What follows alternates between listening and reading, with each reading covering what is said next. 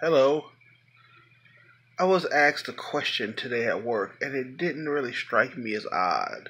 You know, it was just in conversation. But now I'm home and I'm thinking about it after the fact, and I want to share it with you very quickly. You see, they're uh, they're making some changes in the company, and they want everybody to be to a certain standard and be prepared to work. You know, every position in the building. Some are a little more high sensitive than others, so they want everybody to be able to work them. So they're training people, which is cool. There had been a a contract dispute, and we weren't sure if we were even gonna like we, we knew we were gonna have our jobs, but it was like, will it be with this company? Will it be with another company? Kind of deal. But now that they know, they're moving forward and they're doing extra stuff with these people. And we were, uh, I'm training in a new spot, uh, LA three, and I'm sitting here with Officer Lucy, who's cool. She she's good people and we were just talking about the shift and what would have happened if they hadn't renewed the contract. She says, Well, are you happy here? And I was like, Yeah. Like, I still don't know everybody by name, and that can sound mean if you want, but there are a lot of people there whose their native language is not English, and they're kind of hard to talk to. Like, say what you want sometimes. It could be, the accent could be a little thick, you know? It's not from lack of trying. But I don't know them all, but I know mostly everybody. And I don't necessarily feel well respected, like, oh, look at the great job I'm doing, because it's just really a lot of sitting. But I'm still pretty fucking good at it, you know? So she says, Are you happy here? I said, Yeah, I'm pretty fucking good. Like, I dig my schedule. I know I'm cool for at least the next six months now. Like, not that that was a concern, but it's I got a cool little shift. I come home, I kick it with my wife. Like, oh, oh yeah, she does all kind of terrible things. You should guys should see the motion she is. She's a terrible person.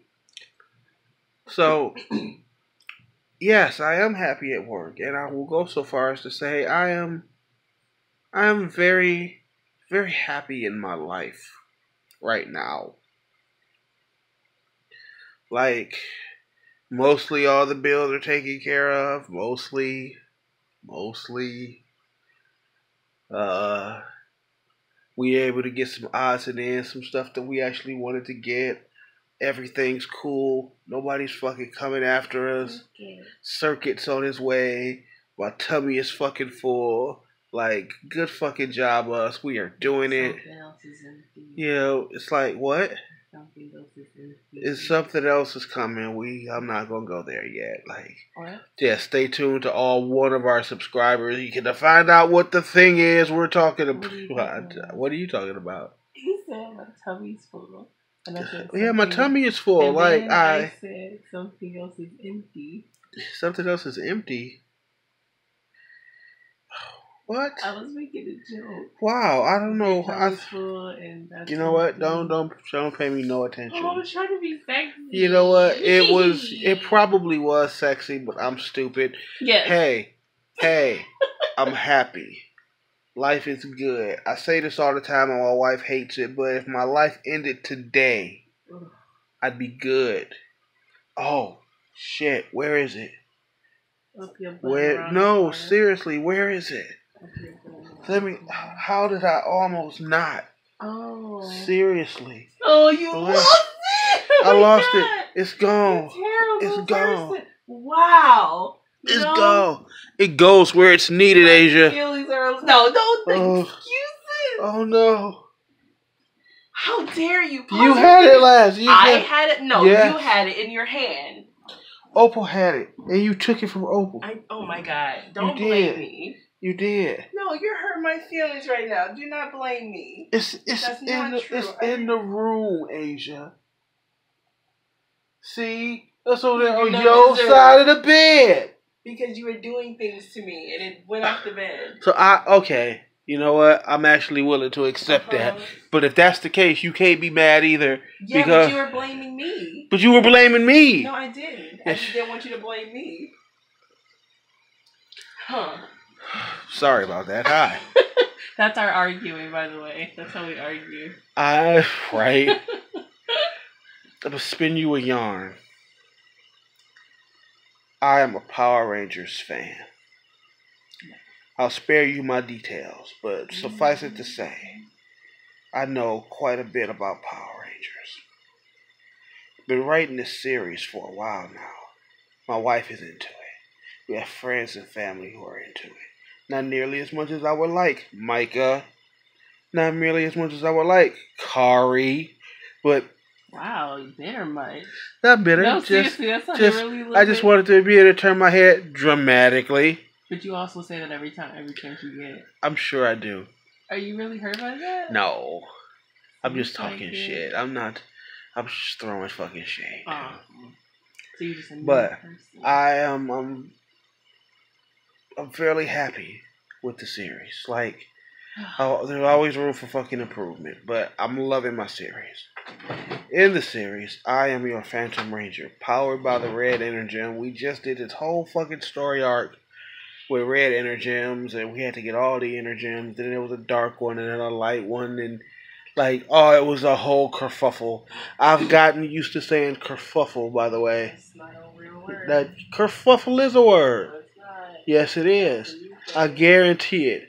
I guarantee. Look up kerfluffle. I, I, Look it up. I don't care enough. So, yeah, because you know. No, oh, if you you're I said I don't believe it's real. You said it is. Look it up for myself. You show you have Truth is truth, regardless of its, tr- yes, source. you have the burden of showing me evidence because Yeah, but I am I am offering you evidence. Here's where you here's where you find the Please, evidence. You show me. I'm I'm I I am telling an emotional story right now about the gift you got and me, that's fine. and you want to argue also- with me about kerfluffles. No, you you're the one that paused to to say that it's a real thing. See, It's No a real thing. You. you stopped yourself. It's a real thing. You know what? I'm gonna I'm gonna tell you my story, and then I'm gonna go I'm gonna go prove to her that kerfluffle is a I'm word. just saying. You stopped like it's Anyway. a real thing, even though no one said anything. Uh huh. The the Phantom Ranger armor is powered by the red energem in the series. It's kind of a big deal. It's been a focal point. I'm heavily into my series, and my wife is heavily. It's like we have a good time with it. For Christmas, it took her a while. It took a minute, but it's fine. My wife got me the red energem. Like, holy shit! Yes, she did. I'm I'm a stoic person by definition. I don't smile a lot, but this is probably one of the most thoughtful gifts because it's the kind of thing that only somebody who was following my innermost thoughts would have thought to say this is a good idea. It's a stone. Like it's nothing really. Look, it's like I'm, I'm sure it's not really a crystal. I'm sure it's like plastic. Oh, you don't know what I had to sell to get that thing. Wow. Wow. My wife is dirty, so it may be an actual gem. but it's like only my wife would have thought of this. I guarantee you, in the history of ever, there's no black wife from Detroit married to a man twice her age who thought to herself, I'm gonna buy this motherfucker a pretend gem from a Power Rangers fan fiction he writes. Nobody. Nobody but my wife. To Goddamn. fair, I got some help from Power Rangers. so. That's holy shit. Wow.